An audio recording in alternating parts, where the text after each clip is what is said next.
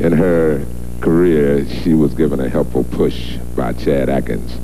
When she met him backstage at one of his concerts, he told her to send him a tape which led to the production of her first demo. That's true. And if you listen to the radio, I'm sure you've heard this lady's record. It's always being played. It's called Somebody's Knocking, and here to sing it for you, Miss Terri Gibbs. Hello.